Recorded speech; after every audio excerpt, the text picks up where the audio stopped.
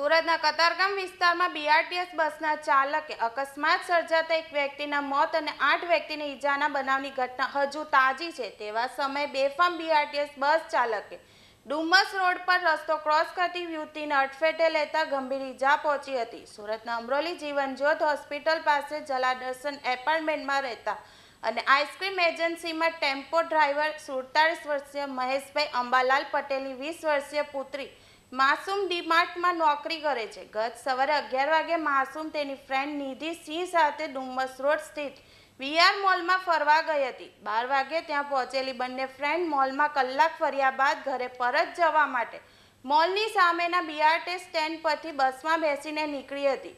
જોકે રસ્તામાં તેમને ભૂખ લાગતા બંને અઢી વાગે તેઓ લાન્સર આર્મી સ્કૂલની સામે બસમાં ઉતરી રોડ ક્રોસ કરતા હતા.